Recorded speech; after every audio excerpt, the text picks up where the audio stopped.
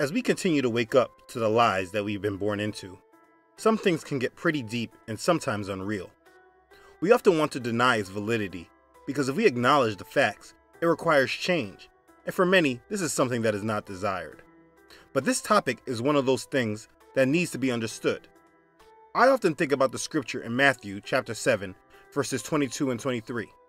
It says, Many will say to me in that day, Lord, Lord, have we not prophesied in your name, cast out demons in your name, and done many wonders in your name? And then I will declare to them, I never knew you. Depart from me, you who practice lawlessness. When I first reviewed that scripture many years ago, it confused me on how someone wouldn't actually know him, though they were calling on him and casting out demons in his name. But this topic really makes me understand how it could be. We say we love Yahshua. Now, for many new to my channel, Yahshua is the actual Hebrew name of Jesus. Jesus is a translation. Yahshua means salvation, as all Hebrew names have meanings. But again, we say we love Yahshua, but we choose to worship and celebrate him in the way we desire and not based off of what he told us. How can we say we know him, but not know that he hates this pagan worship and wants us to be set apart? If we don't know that, it's easy to understand how he could turn many of us away and say, I never knew you? How can we say we know him and don't know about the things he hates? Now, depending on how much you've been awakened to the truth and the deception we have been given in this world, this information may be a confirmation to you or maybe just too much to bear. What I ask for you to do after you finish this video is sincerely pray about it and take it to scripture. My full purpose is to prepare the church, the bride, for the coming of the Messiah. There are certain things that need to come to light and be understood. I've been assigned with this mission, and I am doing my best to sincerely carry it out. Understand that none of this is about me. So before you want to place me in a box that allows you to ignore what I'm about to say, none of the things you may want to characterize me as are true. Please understand I am not a Jehovah Witness or Mormon or of any other denomination. I strongly believe in salvation only through Yahshua HaMashiach. HaMashiach equals the Messiah. He is the only way to the Father. I believe fully in the Bible. I do not believe in any separation of the gospel, which is why I do not claim in any denomination. I grew up myself personally celebrating Christmas all my life. It used to be my favorite holiday and time of the year. If this was something Yahshua desired for us to do, I would be gladly doing it, because for my family, it has always been a great time of the year. But after I recommitted my life to Yahweh, I wanted to live more through His Word, and not just based on what I was told and taught to do. As I moved with that idea, I read the Bible diligently and realized there were many things that we did in His name that were based off of traditions and not based off of Scripture. It's based from this understanding that we will start. Let's begin. Before I start explanations, I always like to start with Scripture because that's what matters most. It's all about what the Bible says. When speaking with people, I used to hear many people say, well, there's no real scripture that tells us not to celebrate Christmas, so it's not really that big of a deal. But that is incorrect. He speaks very much about the subject, but he doesn't specifically name Christmas, because Christmas wasn't celebrated during his time. He speaks about traditions and customs, because it's not only Christmas that we practice falsely, but many other traditions and customs as well. So let's see and understand what he says about traditions.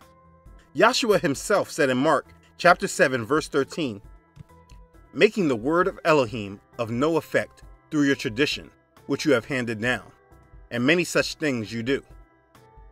This is exactly what we do. I speak about the scripture more in depth in part 27 of my History of Religion series. But when we practice traditions that have been passed down, we make the word of Elohim of no effect. Christmas was never commanded in scripture. It is a tradition that was passed down over time. It is a tradition of men. The apostle Paul speaks on this specifically in Colossians chapter 2 verse 8. Beware lest anyone cheat you through philosophy and empty deceit, according to the traditions of men, according to the basic principles of the world, and not according to Christ. Please understand that this is what the celebration of Christmas is. It is a tradition of men. It is not according to Christ. We do not have one scripture that tells us that we should celebrate his birthday. He has never even told us what day it was that he was born on. The celebration of his birthday, known as Christmas, is absolutely a tradition of man. it is something that man created.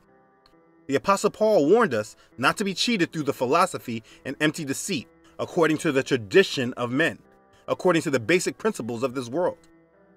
Let's go back into the Old Testament.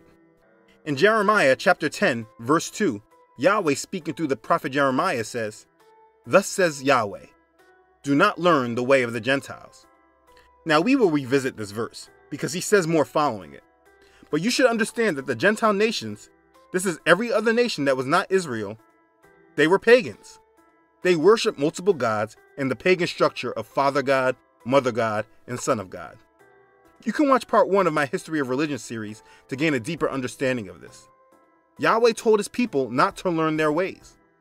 Hold on to that warning, because I will soon show that Christmas is a way of the Gentile nations, and nothing that came from Yahweh. I lastly want you to go back to when Yahweh, through Moses, delivered Israel out of Egypt, and then gave them the Ten Commandments. This is found in Exodus chapter 32. Moses was on the mountain 40 days and 40 nights with Yahweh. He was receiving instruction. Israel grew impatient and thought Moses wasn't coming back. They decided they were going to honor Yahweh in their own way. They took off their golden earrings and molded it into a golden calf and said, This is your Elohim, O Israel, that brought you out of the land of Egypt. They built an altar for it and did burnt offerings and peace offerings. They literally did everything Yahweh just commanded them not to do. Yahweh was extremely upset. He told Moses to go down there and stop them. He said, Now therefore, let me alone, that my wrath may burn hot against them, and I may consume them, and I will make of you a great nation. But Moses pleaded with him, and so Yahweh just severely punished them. 3,000 men fell that day. I use this as a visual example of how Yahweh reacts to his people serving him in the way they desire and not from what he commanded. Though their intentions were sincere and they wanted to pay honor to him for delivering them out of Egypt, he did not want this type of worship. As they were going to possess their promised land, Yahweh told them in Deuteronomy chapter 12, verses 29 through 31 When Yahweh, your Elohim, cuts off from before you the nations which you go to dispossess, and you displace them and dwell on their land?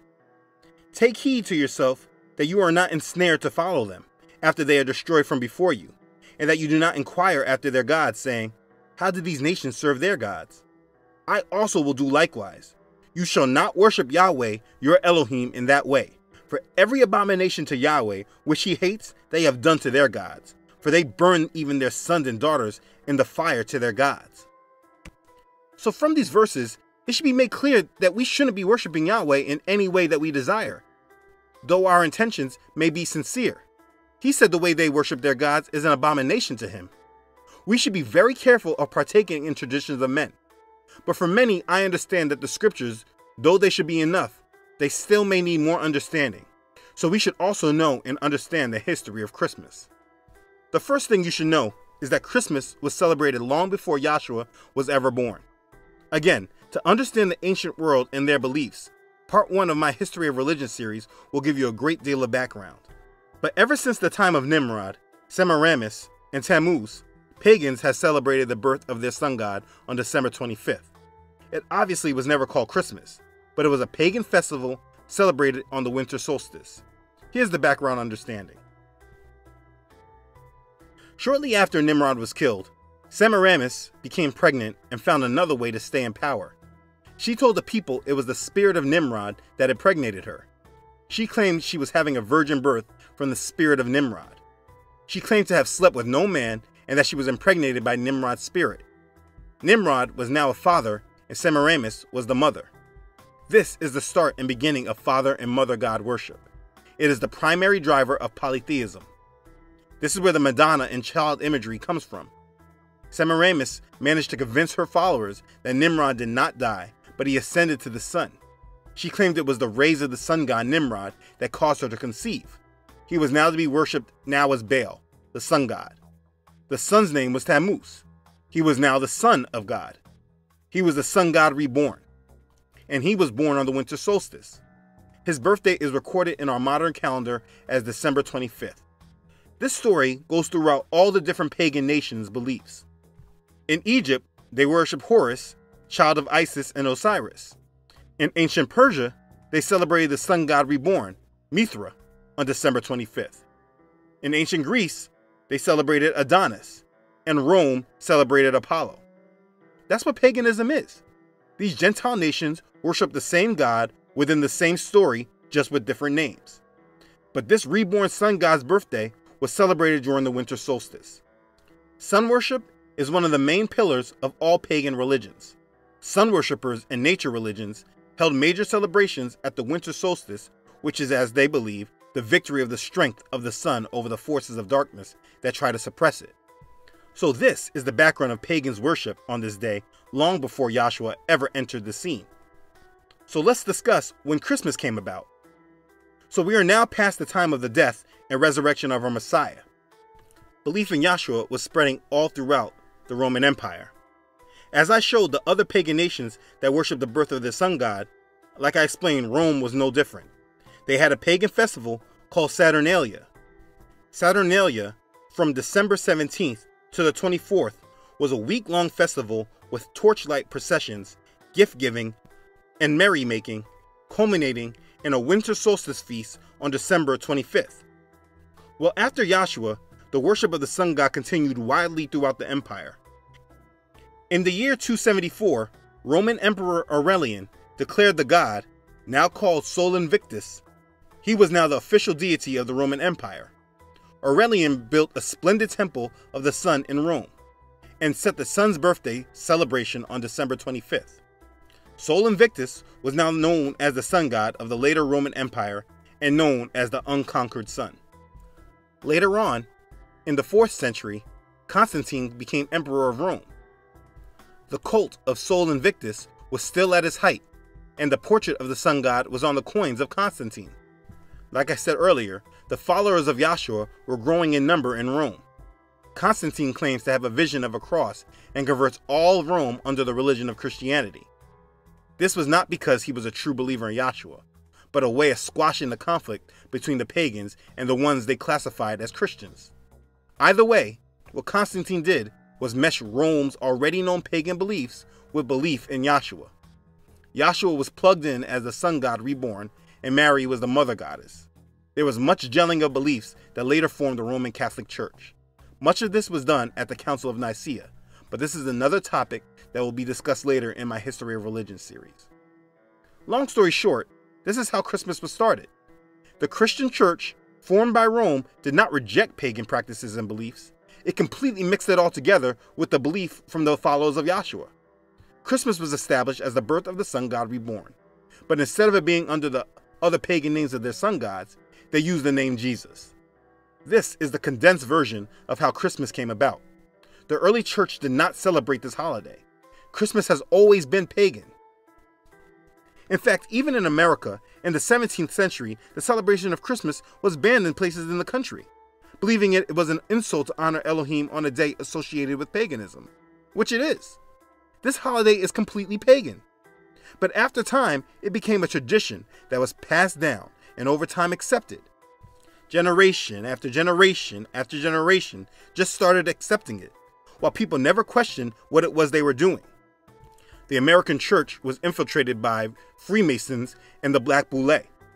Pastors stopped holding a strictness to the word and scriptures like the ones I used in the beginning of this video were not used by the majority to protect the church. We are now at a point in time where people look at you as a blasphemer for not celebrating Christmas, instead of people looking at those celebrating Christmas as the blasphemers.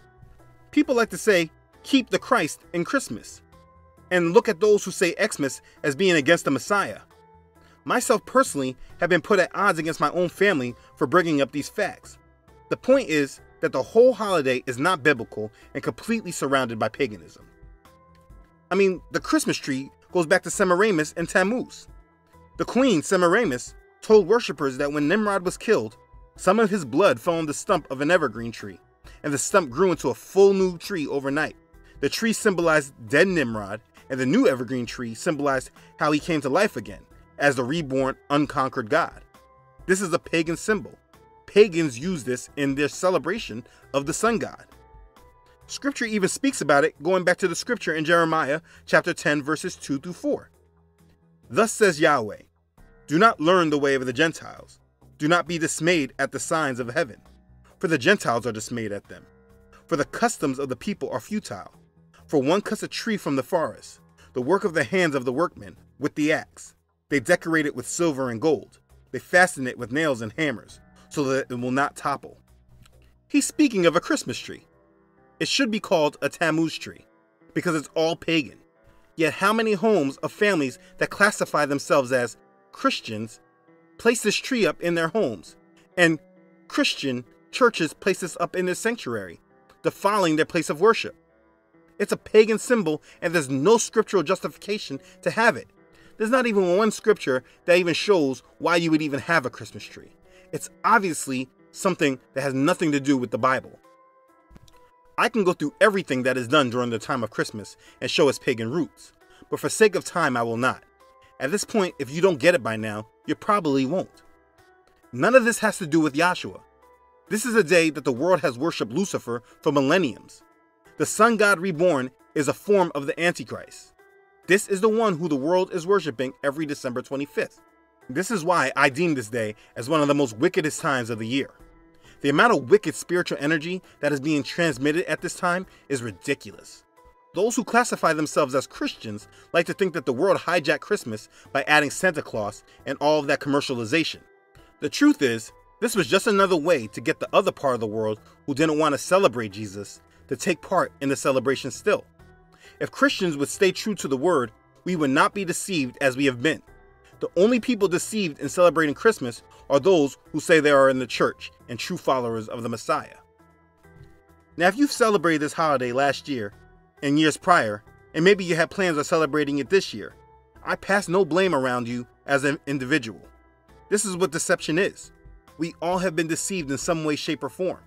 I'm just happy you have been exposed to the truth now, so you're able to do something about it before it's too late for you. The only people I will place direct blame upon are the pastors who have celebrated this and promoted this in their church. They should not be leaders if they do not understand that this is pagan. If there were strong leaders teaching the truth to the church, we would not be so far gone. Let me clarify. Maybe you say that you still want to celebrate them on December 25th, but take away all the gift giving and Christmas tree and whatnot. It doesn't matter you are still worshiping Yahshua in a way that is expressly spoken against. Yahweh says, Do not worship him in the way of the Gentiles. Though you are sincere that you want to worship him, he does not claim honor from this. Remember Israel, because they thought that they were being sincere in their worship of him when they molded that golden calf. But he struck 3,000 of them down because of his anger towards their actions. That should be an example for you. The fortunate thing is that we have been extended grace, where we still have time for repentance. And that's why I'm making this video. There's no telling if we even make it to another Christmas season. But I want you to understand how wicked this all is. You must repent and ask for forgiveness. Don't harden your heart to this message and stay prideful. We cannot worship Yahshua the way we want. In John chapter 4, verse 23 and 24, Yahshua says, But the hour is coming, and now is, when the true worshippers will worship the Father in spirit and truth for the Father is seeking such to worship him. Elohim is spirit, and those who worship him must worship in spirit and truth. Ask yourself do you think celebrating his birthday, though he's never told you to do so, is worshiping him in truth like he's looking for? Do you think celebrating his birthday on a day that you do not know if it really is his birthday, is that really worshiping him in spirit and in truth? I'm not judging you, but I'm pleading with you that if you truly love him, you will not worship him in ways he has not told you to do. If you worship him every day, all day, there is no reason to worship him as the pagans do on the day that pagans worship their God. Many people often ask me what I did so it wasn't a shell shock to my children. Stopping the celebration of Christmas is not particularly easy. We were taking the best time of the year away from them while making sure they understood and did not resent Elohim. That's very difficult in this time in the world. I suggest this to any of you who have children. The answer my wife and I came up with is that we made up our own family tradition. We've made the full month of December a month of blessings. We call it Blessings Month, and it's our own family tradition. This is when our whole family participates in blessing each other throughout the month. We all give each other random gifts, and you never know when you will receive something but it takes place all month. This allows them to still receive gifts and give at the same time, while not taking part in Christmas at all. On December 25th, Christmas, we lay low and don't speak with anyone. It's just another day for us. But being that the world shuts down, we just stick with each other and block out the world. This is what we did in order to provide an adjustment for our children. This is not a tradition surrounded in worship of Yahshua. This is a family tradition that we take part in as our own thing. It's something our family does that is separate from everything and everyone else. Let's face it, all kids really care about are the gifts. When this is not an initial problem for them, the adjustment away from something you've taken part in all your life is a lot easier. Maybe this is right for you, or maybe you don't agree, but this is what worked for my family. We have not celebrated Christmas for over four years, and now it feels like just another day. Understand, the Christmas spirit is really a spirit. It definitely seeks to attach itself to you during the holiday season. It brings feelings that you do not want to be without. You want to be around all the Christmas lights and all the decorations and the festive attitude and the food and everything else that is associated with Christmas. That is part of the Christmas spirit. It is a spirit. You must rebuke it. Understand, we are in the last days. I'm thankful that I was able to make this video, and hopefully, it helps many others remove themselves from bondage and taking part in things that do not bring the Father any glory. From everything I just explained, I'm sure you now can understand how Yahshua will say, I never knew you, to many believers. If they think that this is something that brings him glory and joy, but in fact separates themselves from him, it's easy to see that they never really knew him, and what they knew was just religion. Again, I'm not judging you. I was once in your shoes. You may have done this for years and now feel hardened, maybe saying to yourself, Who does this guy think he is? Remember, I started this asking you to pray about it and take it to Scripture. I found everyone who has rejected this message has never taken it to Scripture and gone off their own personal feelings. Let the Word have its final say. If you see Scripture that has told you to celebrate Christmas, then share it with everyone. But if you do not see Scripture, but have found a way to justify it to yourself, I want you to think long and hard about that decision. This message correlates to many other traditions that we take part in, and I will explain more in future videos. Many of us like to say, well, I see nothing wrong with celebrating Christmas. But always remember, you will not be the judge of yourself. Your opinion does not matter. What you see as right or wrong does not matter. The only thing that matters is what the Bible says. You may be sincere, but you must understand that this is not what He wants from you. He wants obedience to His word. This is why we are destroyed for our lack of knowledge. If we were all taught the history of Christmas, then I'm positive it wouldn't be celebrated. If we just stopped giving our blind trust to these churches and pastors and read the word on our own, it becomes quite clear that we should not partake in these traditions of men. I provided a link with the scriptures provided in this video for anyone who wants to read them on their own. I'm certain there will be people that still try to rationalize the celebration of this time. This is often because many people do not want to make sacrifices for him. We want to have our cake and eat it too. Just remember, Jesus is not the reason for the season. Tammuz is the reason for the Christmas season. Lucifer is the reason for the Christmas season.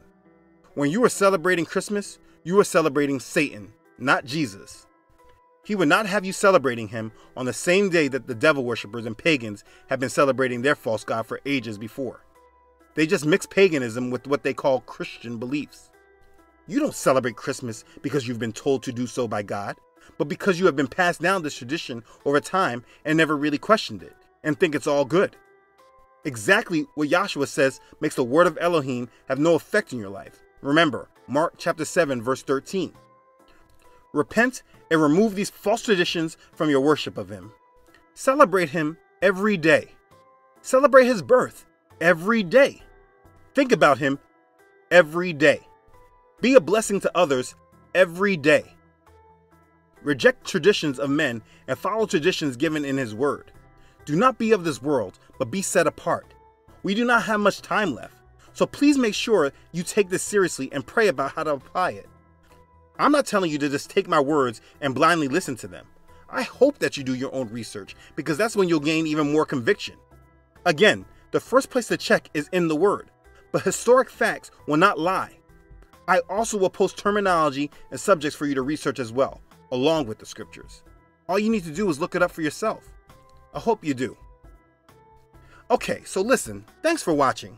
If this has blessed you, please like it and share it. Please share this with everyone you know and get the conversation started around it. Let's talk about it in the comments. If you have questions, leave it in the comments, and me or the other believers who follow this channel will answer your questions in love. I really would like every believer in the world to watch this video.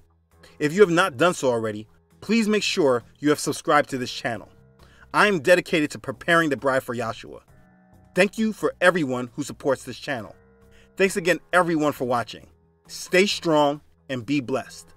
I love you all.